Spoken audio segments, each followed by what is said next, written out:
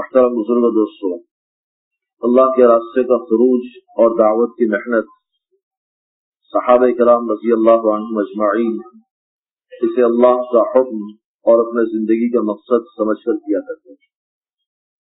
اللہ کے راستے کا خروج اور دعوت کی محنت، یہ اس امت کی ذمہ داری بھی ہے اور اس امت کے لیے مقصد زندگی بھی ہے۔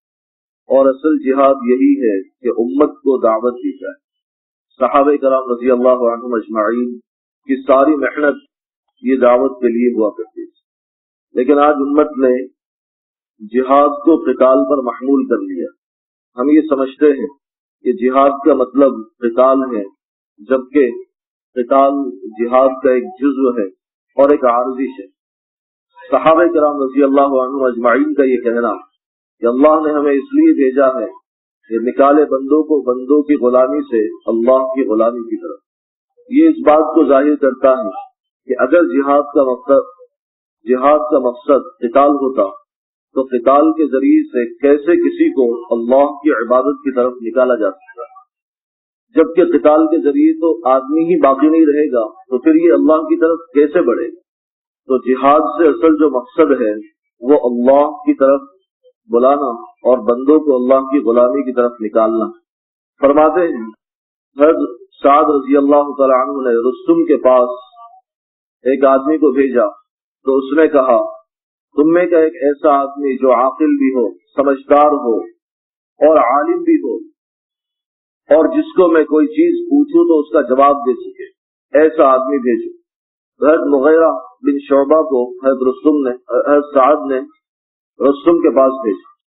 جب حضرت مغیرہ رسم کے پاس آئے تو اس نے ان سے کہا کہ تم ہمارے پڑوسی ہو اور ہم تمہارے ساتھ بہترین انداز میں رہتے ہیں اور ہم تمہیں کوئی تکلیف نہیں دیتے۔ سو تم اپنے وطن کی طرف واپس لوٹ جاؤ۔ ہم تمہیں اپنے ملک میں تجارت کے لیے داخلے سے منع نہیں کریں گے۔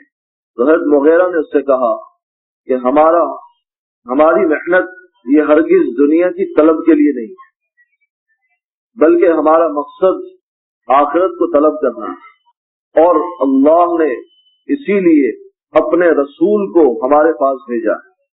اور اللہ نے یہ بات بھی بتائی ہے کہ یہ جماعت کو اللہ نے اس پر مسلط کیا کہ جو اللہ کے دین سے پھر جائے اور جو اللہ کے دین سے حق سے پھر جائے گا۔ اللہ تبارک و تعالی ایسے آدمی کو ذلیل فرمائے اور جو اللہ کے دین کو اختیار کرے گا، اللہ تبارک و تعالی اسے عزت عطا فرمائے۔ تو رسوم نے کہا، وہ کیا چیز؟ حید مغیرہ نے فرمایا، بہرحال جو اس کا ستون ہے کہ جس کے بغیر کوئی بھی چیز قبول نہیں ہو سکتی، وہ لا الہ الا اللہ اور محمد الرسول اللہ کی گواہی دینا۔ اور جو کچھ حضرت محمد صلی اللہ علیہ وسلم اللہ کے پاس سے لے کر آئے ہیں، اس کا اقرار کرنا۔ تو رسم نے کہا، کیا ہی اچھی چیز ہے۔ اور کچھ بتائیے۔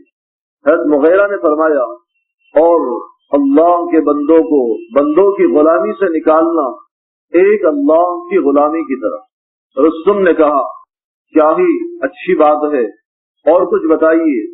حضرت مغیرہ نے فرمایا لوگ سارے کے سارے آدم کی اولاد ہے اور یہ آپس میں بھائی ہے اور ایک ماں باپ کی اولاد۔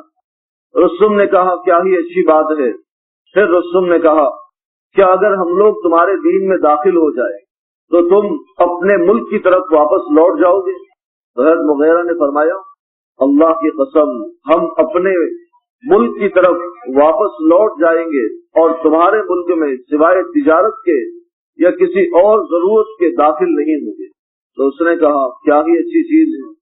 حضرت مغیرہ جب نکلے، تو رسوم نے اپنے درباریوں سے کہا، ان کے سامنے